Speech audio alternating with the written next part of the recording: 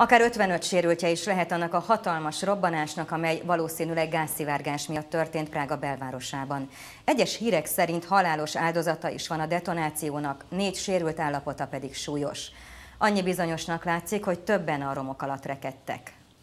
Törmelékkel beterített utca, vérzőfejű emberek, betört ablakok. Így nézett ki Prága belvárosa a robbanás után, amelynek hangját több kilométerre hallani lehetett. A tűzoltók, a rendőrség és a mentők nagy erőkkel érkeztek a helyszínre. A detonáció reggel 10 óra előtt néhány perccel rázta meg az egyik történelmi épületet a Divadelni utcában, nem messze a Nemzeti Színháztól és a Prágai Egyetem egyik fakultásától, a Moldva folyó partján. Éppen a reggeli kávémat készítettem, amikor elképesztő robbanás hallatszott. Azt hittem rám szakad a ház. Az ablakon kinézve láttam egy hatalmas porfelhőt, és mindent porborított. A második emeleten lakom. Az én lakásomban nem keletkezett kár, de egy emelettel lejjebb az összes ablak kitört, mondta egy környékbeli lakos.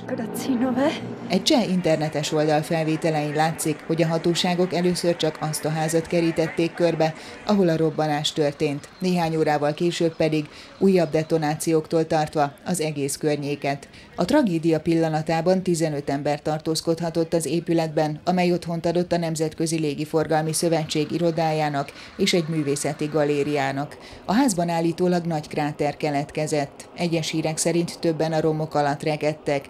Egy rendőr azt állította, hogy egy ember meghalt, de a tűzoltók szerint a robbanás nem követelt halálos áldozatot. Az eddigi vizsgálatok szerint gázszivárgás történt, ez okozhatta a tragédiát.